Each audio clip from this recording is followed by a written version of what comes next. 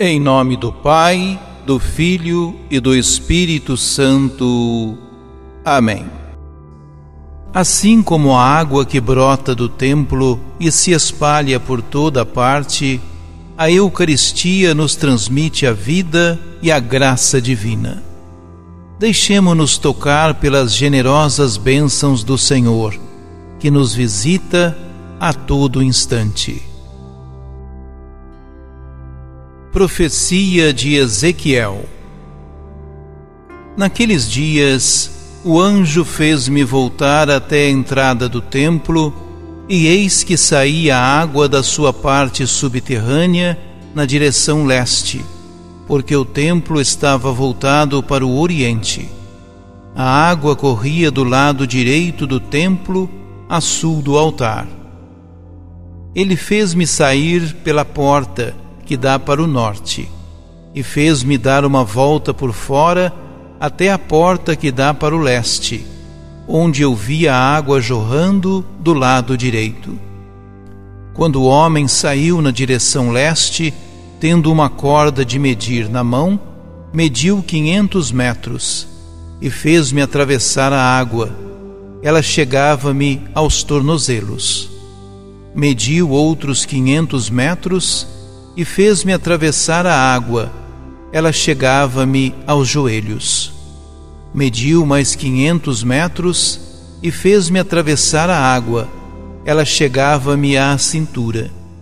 Mediu mais quinhentos metros e era um rio que eu não podia atravessar, porque as águas haviam crescido tanto que se tornaram um rio impossível de atravessar, a não ser a nado. Ele me disse: Viste, filho do homem. Depois me fez caminhar de volta pela margem do rio. Voltando, eu vi junto à margem muitas árvores, de um e de outro lado do rio.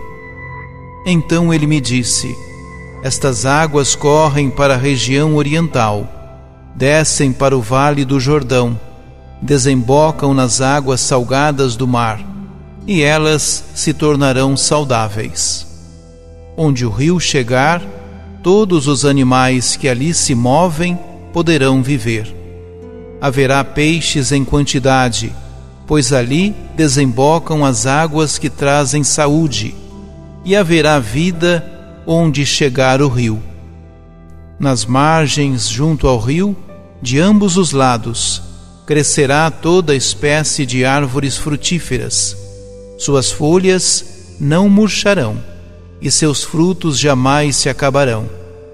Cada mês darão novos frutos, pois as águas que banham as árvores saem do santuário. Seus frutos servirão de alimento e suas folhas serão remédio.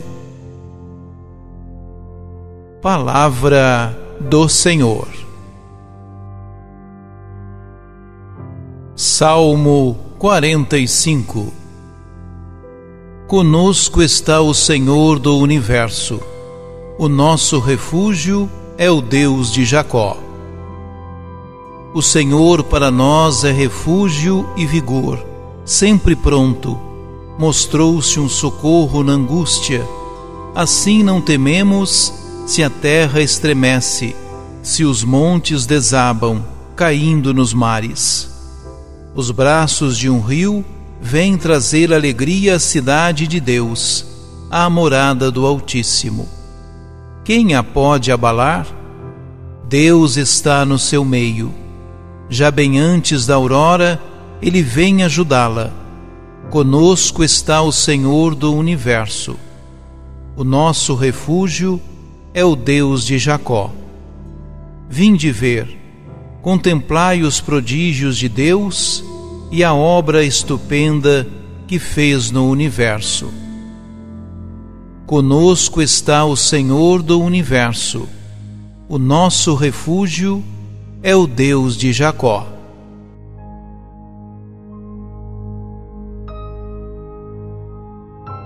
Proclamação do Evangelho de Jesus Cristo, segundo João houve uma festa dos judeus e Jesus foi a Jerusalém. Existe em Jerusalém, perto da Porta das Ovelhas, uma piscina com cinco pórticos, chamada Betesda, em hebraico. Muitos doentes ficavam ali deitados, cegos, coxos e paralíticos. De fato, um anjo descia de vez em quando e movimentava a água da piscina. E o primeiro doente que aí entrasse, depois do borbulhar da água, ficava curado de qualquer doença que tivesse. Aí se encontrava um homem que estava doente havia 38 anos. Jesus viu o homem deitado e, sabendo que estava doente há tanto tempo, disse-lhe: Queres ficar curado? O doente respondeu: Senhor, não tenho ninguém que me leve à piscina quando a água é agitada. Quando estou chegando, outro entra na minha frente. Jesus disse: Levanta-te, pega na tua cama e anda. No mesmo instante, o homem ficou curado, pegou na sua cama e começou a andar. Ora, esse dia era um sábado. Por isso os judeus disseram ao homem que tinha sido curado: É sábado, não te é permitido carregar tua cama. Ele respondeu-lhes: Aquele que me curou disse: Pega tua cama e anda. Então lhe perguntaram: Quem é que te disse: Pega tua cama e anda? O homem que tinha sido curado não sabia quem fora, pois Jesus se tinha afastado da multidão que se encontrava naquele lugar. Mais tarde, Jesus encontrou o homem no templo e lhe disse: Eis que estás curado não voltes a pecar, para que não te aconteça coisa pior. Então o homem saiu e contou aos judeus que tinha sido Jesus quem o havia curado. Por isso, os judeus começaram a perseguir Jesus, porque fazia tais coisas em dia de sábado. Palavra da Salvação.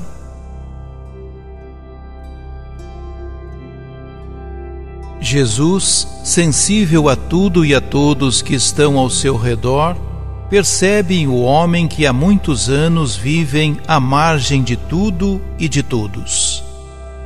À espera que alguém o jogue na piscina, assim que as águas se agitarem, o homem doente simboliza a estagnação ou paralisia provocada pelo pecado e pelo sistema que amarra as pessoas e impede que elas conquistem sua autonomia e independência. Diante do bem que foi realizado, Jesus encontra opositores, pois o arranjo social, político, econômico e religioso olha e busca a manutenção da estrutura que o caracteriza e não necessariamente o bem daqueles e daquelas que necessitam de cuidado e meios para que suas vidas sejam restabelecidas. Gestos do passado podem ainda ser reproduzidos em nossas comunidades hoje. Observemos e hajamos para que ao nosso redor a vida de todos tenha igual valor e prevaleça.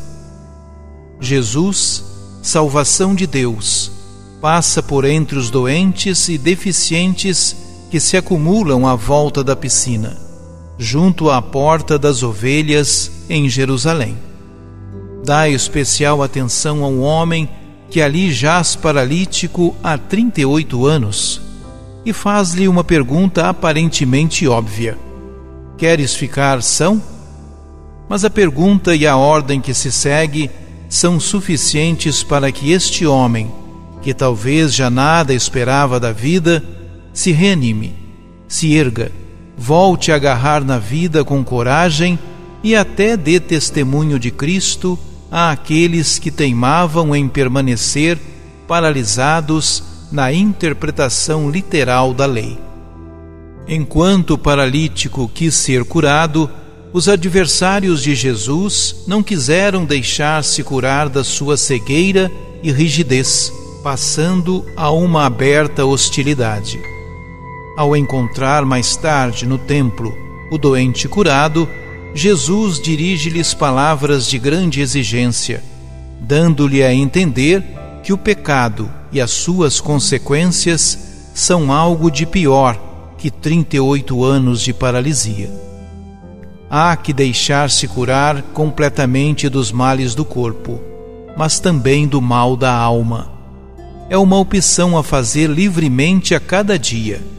Deixar-se curar e não pecar. Oremos.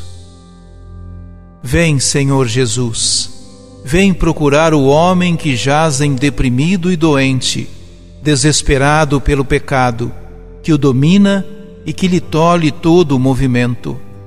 Vem também procurar-me a mim.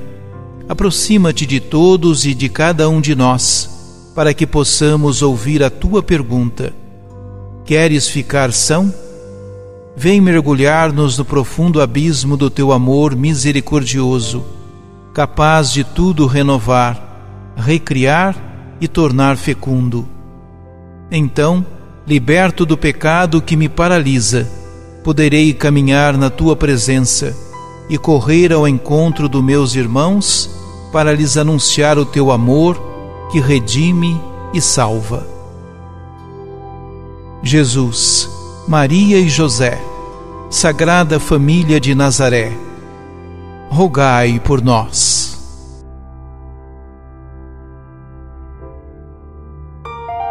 Ajude-nos a evangelizar.